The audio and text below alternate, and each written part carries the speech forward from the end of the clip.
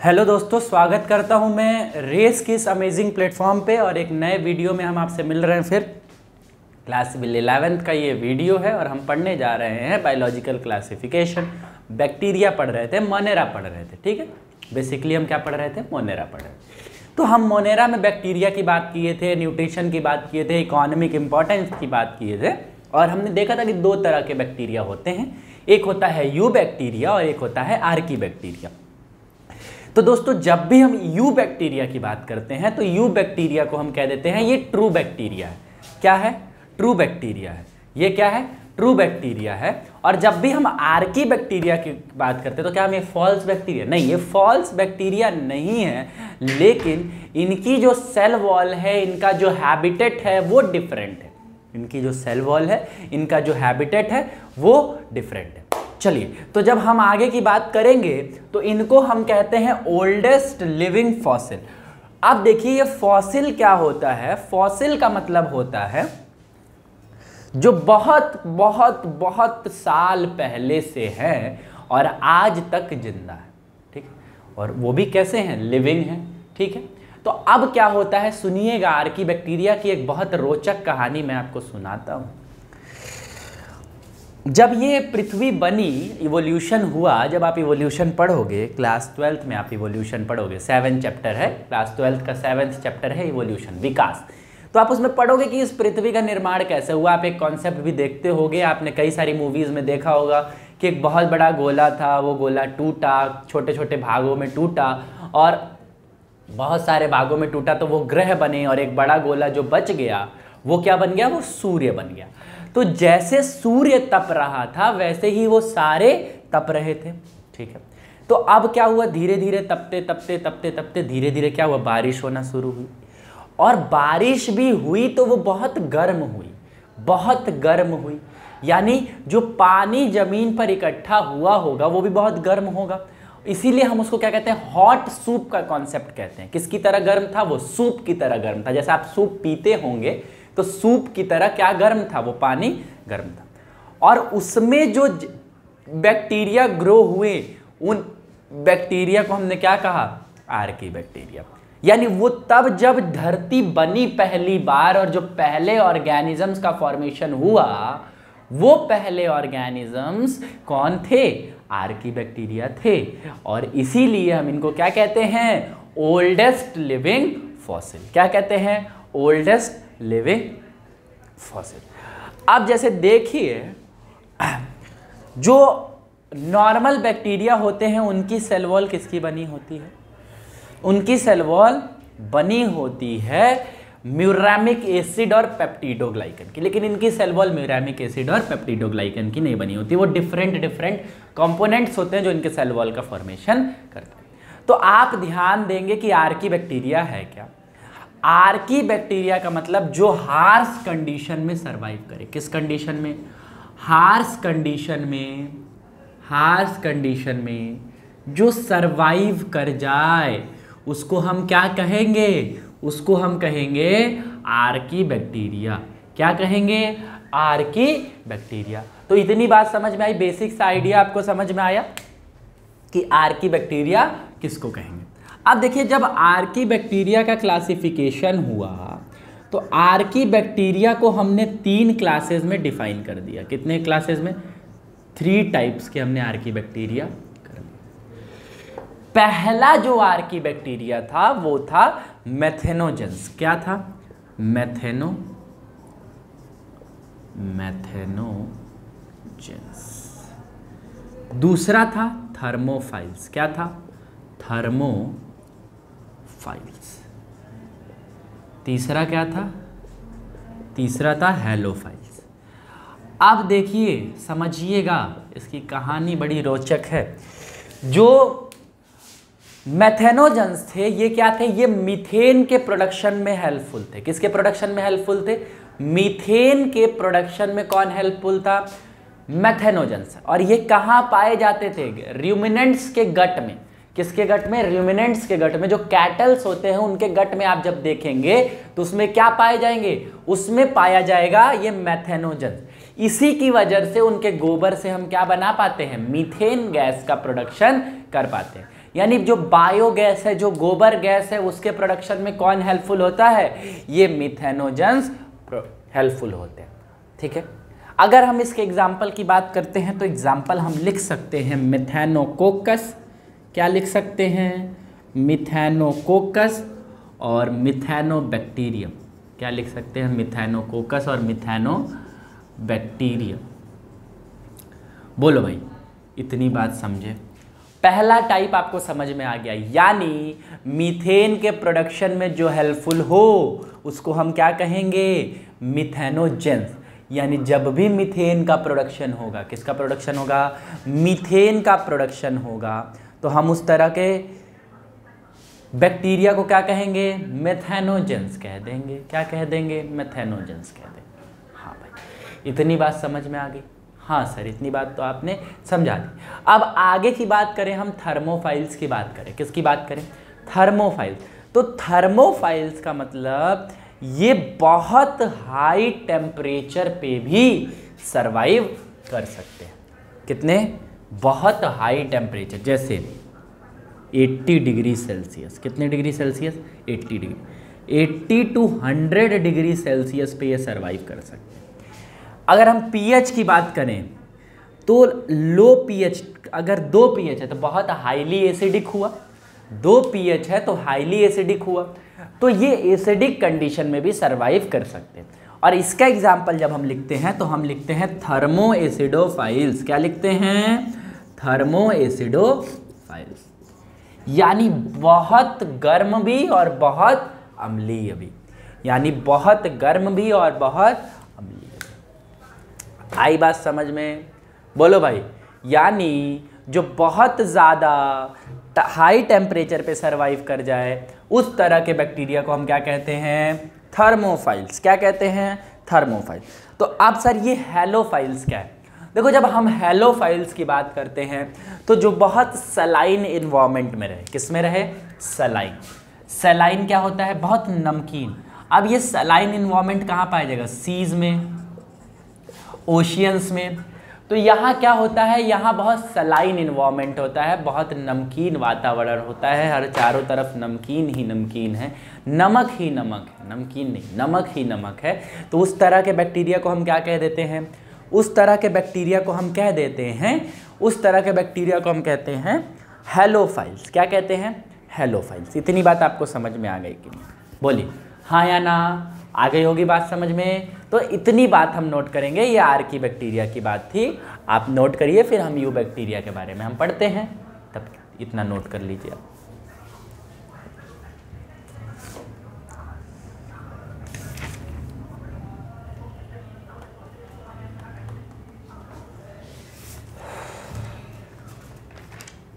चलिए नोट हो गया होगा। तो आर की बैक्टीरिया क्या है? ट्रू बैक्टीरिया नहीं है। क्यों ट्रू बैक्टीरिया नहीं है? क्योंकि बहुत हार्स कंडीशन में रह ले रहा। चलिए सर अच्छा बैक्टीरिया किस किंगडम के हैं? ये तो नहीं भूले ना आप लोग बैक्टीरिया किस किंगडम के हैं? ये याद रखिएगा, ये बहुत बेसिक सा क्वेश्चन है कि बैक्टीरिया किस किंगडम के बैक्टीरिया मोनेरंस के हैं। मैं आपको पढ़ा रहा हूँ मोनेरा तो मोनेरंस के ही होंगे। अब हम पढ़ते हैं यू बैक्टीरिया क्या पढ़ते हैं? यू बैक्टीरिया यू बैक्टीरिया का मतलब ट्रू बैक्टीरिया। ट्रू बैक्टीरिया का मतलब जिनका सेल वॉल किसका बना हो? म्यूरामिक एसिड का बना हो और पेप्टिडोग्लाइकन का बना हो, plus peptido, peptidoglycan, plus peptidoglycan. चलिए इतनी बात आपको समझ में आ गई। तो इसमें हम पहली बात करेंगे साइनोबैक्टीरिया की। किसकी बात करेंगे? साइनोबैक्टीरिया साइनोबैक्टीरिया को ही हम बीजीए कहते हैं। क्या कहते हैं? बीजीए बीजीए का मतलब हरित नील सहवाल ब्लू ग्रीन एल्गी क्यों कहते हैं इसको हम एल्गी क्योंकि ये ऑक्सीजेनिक फोटोसिंथेसिस करता है। ये फोटोसिंथेसिस करता है। क्या बैक्टीरिया फोटोसिंथेसिस कर सकते हैं? हाँ और उसका एग्ज़ाम्पल है साइनोबैक्टीरिया बीजीए इसको हम क्या कहते हैं? Blue green algae. तो आप याद रखेंगे, जो ये साइनोबैक्टीरिया है, ये ब्लू ग्रीन एल्गी है। तो हमने इसको एल्गी में क्यों रखा? एल्गी में क्यों नहीं रखा, सर? क्योंकि ये प्लांट जैसे कैरेक्टर शो नहीं कर रहा था और बैक्टीरिया जैसे कैरेक्टर शो कर रहा था। इतनी बात समझ में आई? आई बात समझ में? इसका जो क्रोमोजोम इसका जो न्यूक्लियस था, जो क्रोमेटिड था, वो स्कैटर्ड फॉर्म में था, जैसा कि बैक्टीरिया में होता था। बोलो भाई, इतनी बात समझ में आई? हाँ या ना? ठीक है। तो ये क्या है? ये किसमें हेल्प करता है? जैसे देखो, जो ये ब्लू ग्रीन एल्गी होता है, ये नॉस्टॉक का अगर हम बात करते हैं तो ये नाइट्रोजन फिक्सेशन में हेल्प करता है। किसमें हेल्प करता है? Nitrogen fixation. देखिए, ये जो नॉस्टॉक है, ये आपको धान के खेतों में मिल जाएगा। जब धान एक्वेटिक, जब धान, देखिए, धान जब हम लगाते हैं, जब ग्रो करते हैं तो हमको बहुत ज़्यादा पानी की आवश्यकता पड़ती है। और वो पानी में ही ये ग्रो करते हैं और इस तरह के बैक्टीरिया को हम कहते हैं blue green algae blue green इस एल्गी और उसका एग्ज़ाम्पल हमने लिख लिया। क्या? नॉस्टॉक क्या लिख लिया? नॉस्टॉक ठीक है। अब इनका जो ए सेक्शुअल रिप्रोडक्शन होता है वो बनता है बाइनरी फिजन फ्रेगमेंटेशन हेट्रोसिस्ट और होमोगोनिया से। ठीक है? हॉर्मोगोनिया से ठीक? जब हम इसके इकोनॉमिक इंपॉर्टेंस की बात करते हैं तो आप जानेंगे यूज़र सॉइल क्या आता है? User soil user soil user soil का मतलब होता है बंजर भूमि। क्या होता है? बंजर भूमि। बंजर भूमि को अगर हमको उपजाऊ बनानी है तो हम साइनो बैक्टीरिया का उपयोग कर सकते हैं। किसका उपयोग कर सकते हैं? साइनोबैक्टीरिया का उपयोग कर सकते हैं। चलिए नेक्स्ट हम बात करने वाले हैं माइकोप्लाज्मा की। किसकी बात करने वाले हैं? इसी में हम बात करेंगे माइकोप्लाज्मा की। यू बैक्टीरिया में ही। देखिए माइकोप्लाज्मा जो है एक बड़ा अनोखा जीव है। इसको जो डिस्कवर्ड किया था ई नोकार्ड और एंड ई रॉक्स ने, किसने?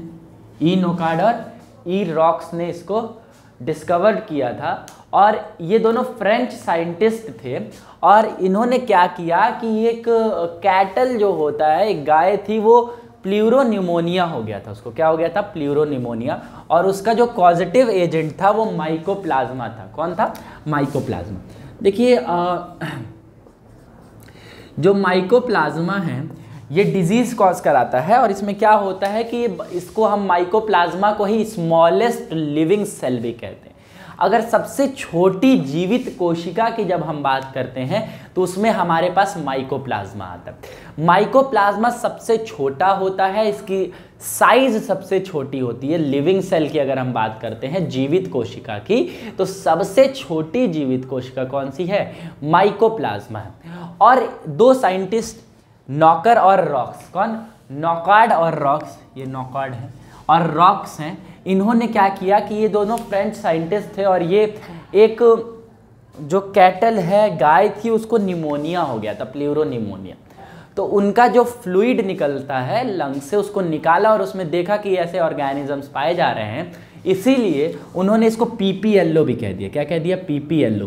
पीपीएलओ का मतलब pleuro pneumonia like organism.